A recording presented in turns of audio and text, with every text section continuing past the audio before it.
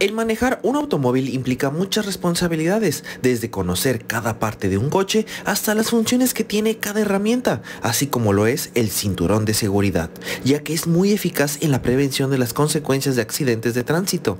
Por ello, es que muchos países, incluido México, han establecido la obligación legal de su uso.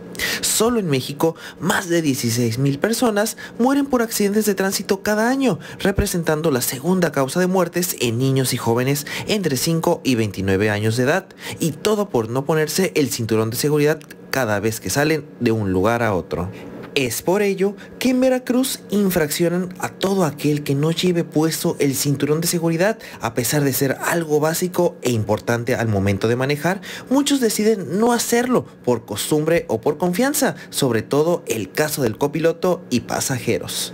A pesar de ser una de las multas más comunes que cometen los conductores en Veracruz, está estipulado en el artículo 46 del reglamento de tránsito del municipio de Veracruz que están obligados a utilizar el cinturón de seguridad del vehículo y hacer que los pasajeros hagan lo mismo. De lo contrario, la multa por no llevar el cinturón de seguridad saldría desde los 103.74 hasta unos 414.96 pesos mexicanos.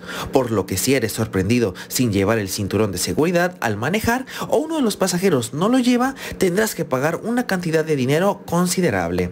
Así que recuerda, no te pases, camina y maneja seguro por el bien de ti y el de todos. Para aquí estamos Veracruz, Iván Muse.